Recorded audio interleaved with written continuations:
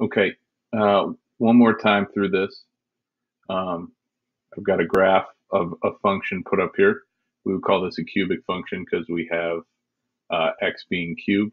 Okay, um, and I put this point here and I labeled it as 5, 3 just to again reemphasize uh, something before we before we look at a different type of problem remember that all of these points okay and this gets lost on people sometimes. And that's why you know this we're, we're slowing things down a little bit. Every single piece that's on this black line that's a point okay? And or black curve i should say. And every single one of these points has an x and a y coordinate. And every x and y coordinate is the result of this function right here. So this value right here, this is our x.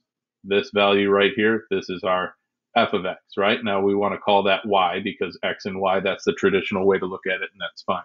Okay, I just want everybody to understand before we look at this next problem, what this point right here is saying is that when you take the function f and you plug in the number 5, the result of this is a y value of 3 right? The x coordinate goes in here, the y coordinate is the result.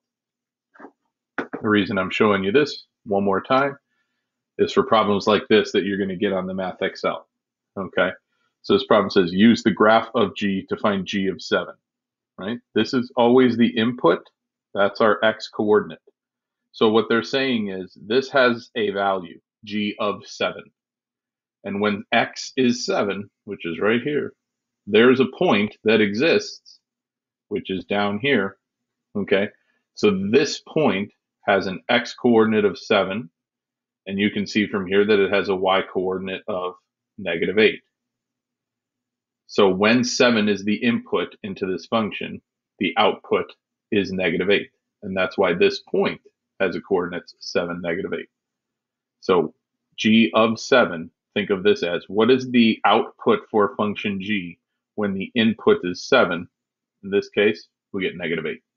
This is just a, a different way of, we're still evaluating a function.